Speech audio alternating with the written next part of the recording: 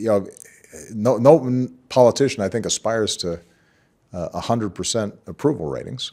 Um, If you're referring to specific strains in the Republican Party that uh, suggest that somehow I'm different, I'm Muslim, I'm disloyal to the country, et cetera, uh, you know, which unfortunately uh, is pretty far out there and gets some traction uh, in certain pockets of the Republican Party, and that have been articulated by some of their elected officials.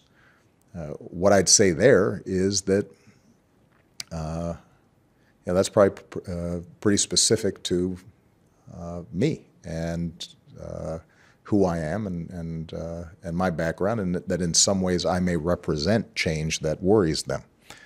Um, but that's not to suggest that everybody who objects to my policies may uh, may not have perfectly good reasons for it. I, you know, i- if you're living in uh, a town that historically has relied on coal, and you see uh, coal jobs diminishing, you're probably going to be uh, more susceptible to the argument that uh, I've been wiping out the economy in your area.